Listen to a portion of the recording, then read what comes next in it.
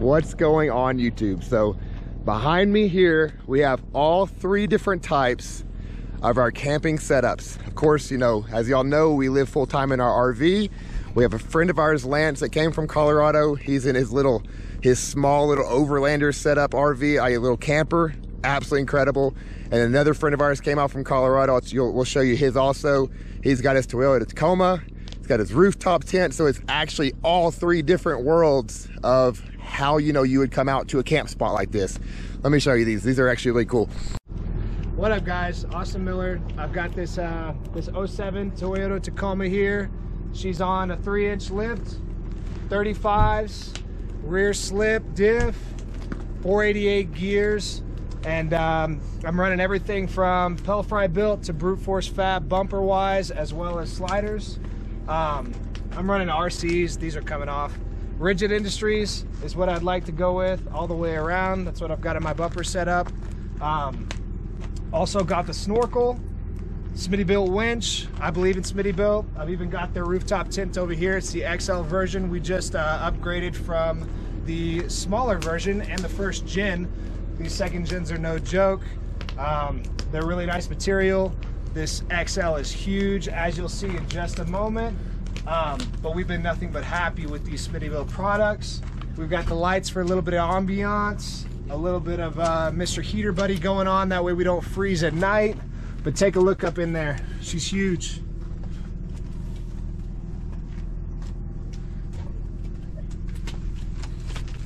And as we come to the back, we've got the decked drawer system for all of our clothes, shoes, whatever you need. We've got a um, on, on onboard air with Smittybilt. I've got my hose back there, some lights. The RotopaX will go on at one point. Um, we've got a nice little water tank here, hand pressurized, super sick. You get like three or four uh, showers out of this, and that's just me and my wife. So two people can take about three showers. Um, Rago rack, the MOLLE panel from Rago is pretty nice. Prinsu, of course, you can't go wrong. And uh, you know, she she gets where you need to go. She's uh, wheeling pretty heavy, and you get to get these incredible views with our Smittybilt rooftop tent. Absolutely beautiful. You can go camp wherever you like on any trail. Y'all have a good one. Hey, how's it going, guys? My name's Lance. We're out here in Moab, and I figured I'd give you a tour of the FJ and my camper. Let's start with the FJ. So this is a 2010 Toyota FJ Cruiser Trail Teams Edition. Uh, specific color is Sandstorm. We've got quite a lot, quite a lot of mods in, into it, but we have the Metaltech front tube bumper with the Smitty Smittybilt 10K winch. Um, just running some Amazon special lights, nothing crazy.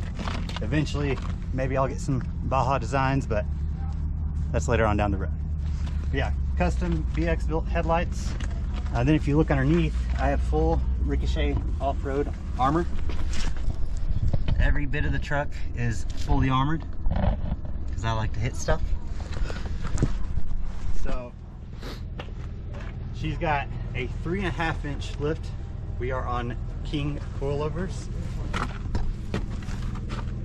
JBA upper control arms on some uh, 35 inch Toyota Open Country RTs and KMC wheels. And then up top here, I have a 120 watt solar panel that's essentially taped to the hood. Um, I have a dual battery system in here that I custom built myself and this powers my dual battery system so I can run a fridge, uh, other various items, etc. Um, more lights, ditch lights, come in handy. And on the inside here,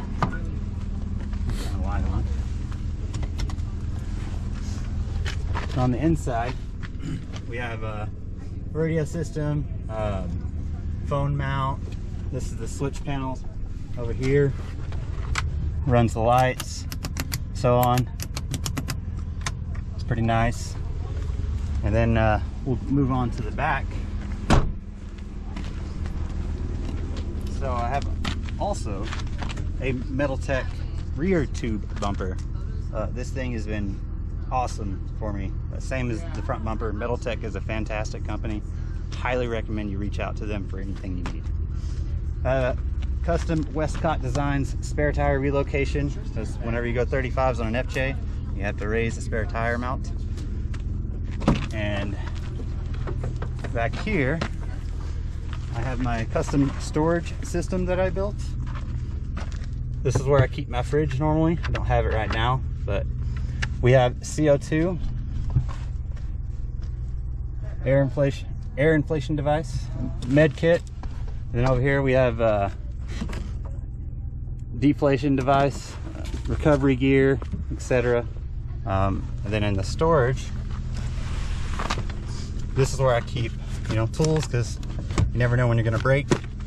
Tool bag, tool bag, shovel, air compressor, various items that you know you'll need whenever you go off-road.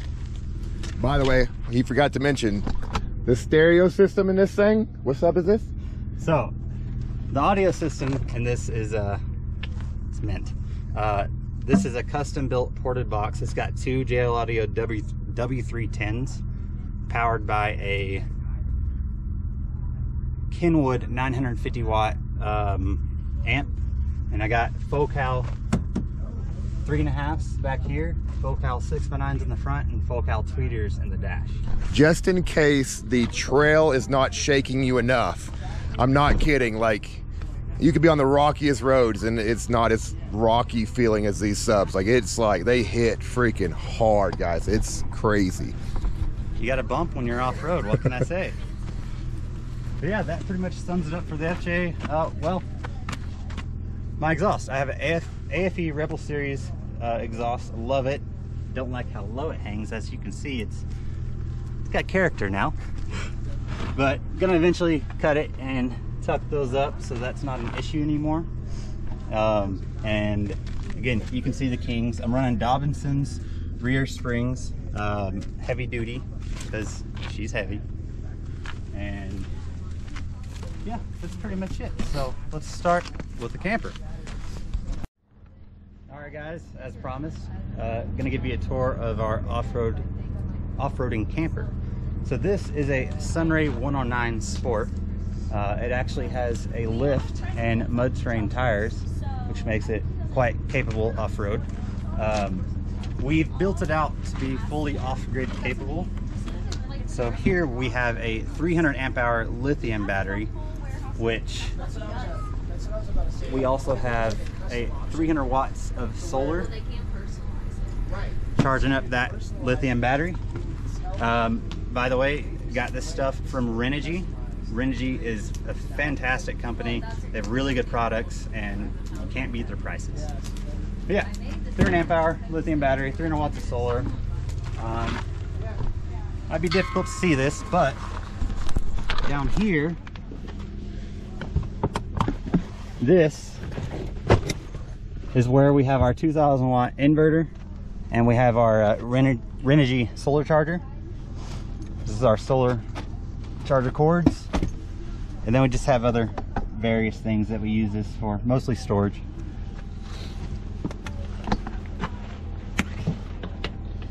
And might be difficult to see this also, but this is our shower. So this comes out and it comes up into our shower tent, which I'll show you the shower tent. So if you take a look inside, this is an Ironman 4x4 shower tent. We also use it as a, a potty tent. It's been really great for us. Um, love it. It gets the job done. So we also have our hot water heater right here. Uh, this is our freshwater connection, city water connection, and our, our power connection is over there. So this thing has 16 gallons uh, storage for water, six gallons in the water heater, and 10 gallons in the uh, water tank. Here, this is our, our kitchen. That's our Dometic two burner stove, small sink. And we got plenty of storage. Keep our plates and silverware and other various items up here. And then Down here, just more storage. We keep a lot of stuff in there, so it's a little cluttered. More storage up here. This is typically where we keep all of our dry goods. And then of course, a Dometic fridge. Just big enough. Our condiments, drinks, etc. It's also got a freezer. And this fridge is electric and gas. So whenever electricity is not available, it will run off the propane. Really nice. And if you follow me over here, take you to the inside. But first, we have outdoor speakers. Uh, there's also indoor speakers. Obviously a radio powering them. Let's go inside. So, the Sunray 109 comes with a full-size bed. Uh, and this bed will actually push back and turn into a couch. And over here, you know, we got our light switches, got our radio right here. And then if you take a look inside, you can actually see that we have an air conditioning unit as well. We also have a furnace, so it keeps us nice and toasty in here. Shut that. And up here, this is our awning. Um, don't have it out right now because we don't have really need for it tonight, but typically we'll extend this awning out. We have an awning room that we'll actually put on and we'll use that awning room for more storage or just cool place to chill, keep out of the weather. Yeah, that's the Sunray 109. Thanks for uh, chiming in, guys. All right, guys. So I shot the video while we were there in Moab. Uh, didn't get to finish it because it ended up getting too dark. Whenever I went to look at the video, realized you couldn't see me, the Jeep, nothing at all. So my turn now. Here we are. We have the 1999 Jeep Wrangler TJ. Uh, not a lot going on the front other than, of course, our tow bar. Um, I think it was a Smittybilt tow bar. Uh, I did the uh, 13.5 winch. It was actually a um, Amazon winch. I have absolutely loved this winch. It was cheap, but it's great. I used it a lot now. I've used it a ton. Um, I have also done the KC lights. Um, I've just recently done a LED upgrade on those, so everything is LED now. Ton of wiring upgrade. I recently also put in a, so there's a connector here, so I can connect air from the RV to the Jeep. Onboard air hopefully is going in before too long, but I can connect air in from there. And then once you get the air connected to that from inside the Jeep, it'll actually be powered up um, to this nozzle here. This is how I'm able to turn it on and off. My gauge to show me how much air pressure is actually in the line. And then I have on either side of the Jeep, I have a connector on the passenger side, one on the driver's side, and then I have a splitter that goes from there to the pass uh, the, the back wheel, one to the front tire, and I'm able to air up and deflate all four at the same time. Uh, while we're already in the Jeep, uh, I will show you a thumb throttle, probably the coolest upgrade I've done to the Jeep so far. If you have a standard vehicle, thumb throttle is a must. Absolutely love this thing when rock crawling.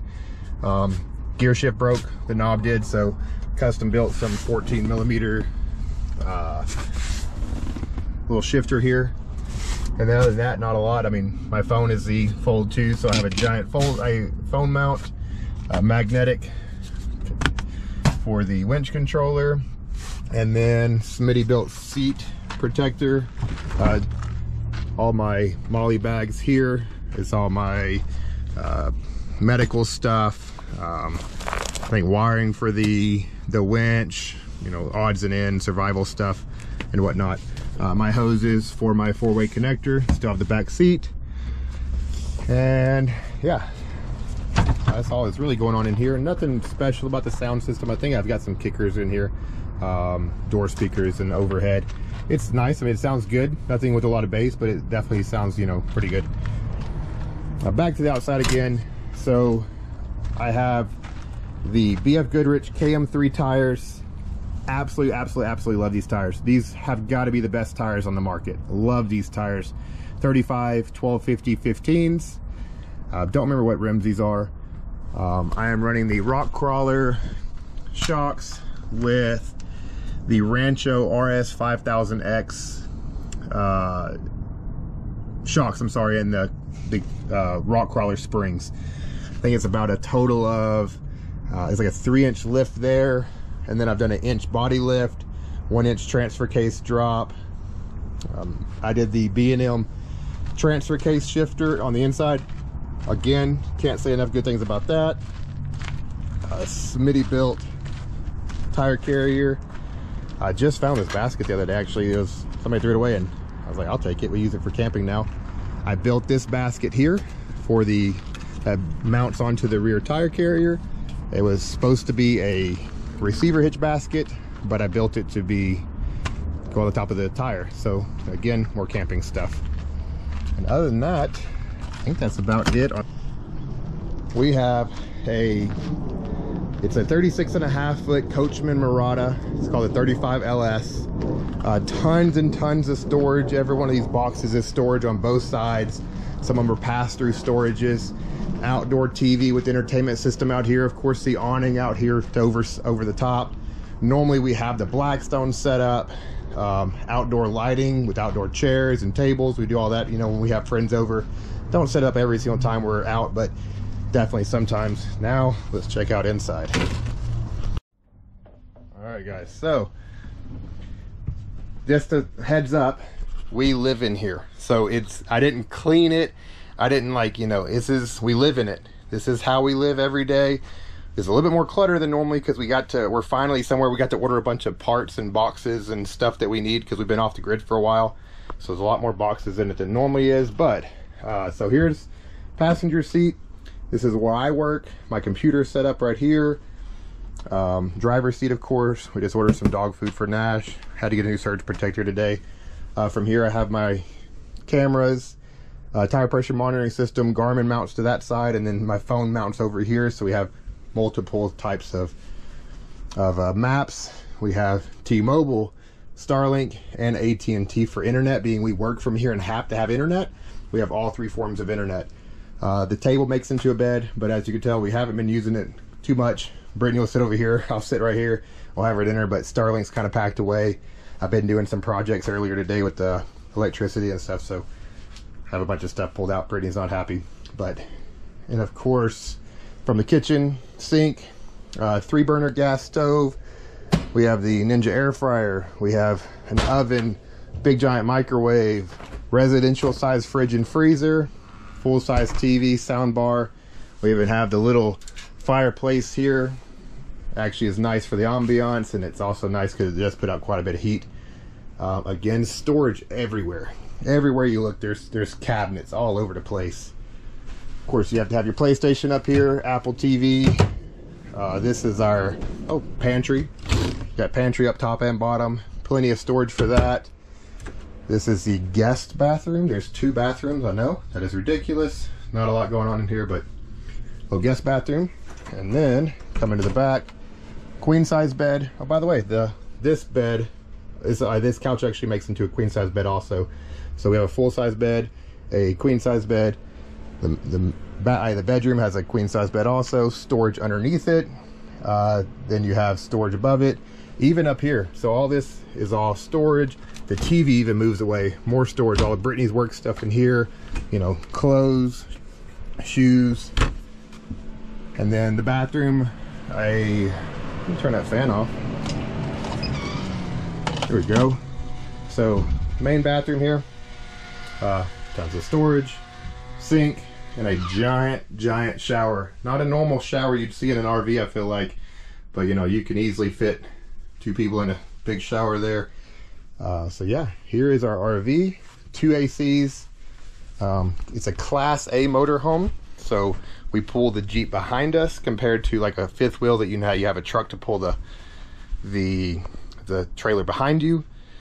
So yeah, guys, what do you think? Um, what's what's your style? Like, what is it? Is it going to be the rooftop tent? Is it going to be the the small little compact overland trailer, or are you ready to move into your RV and and travel the country full time? You know, all three lifestyles are completely different. In my opinion, not one is better than the other.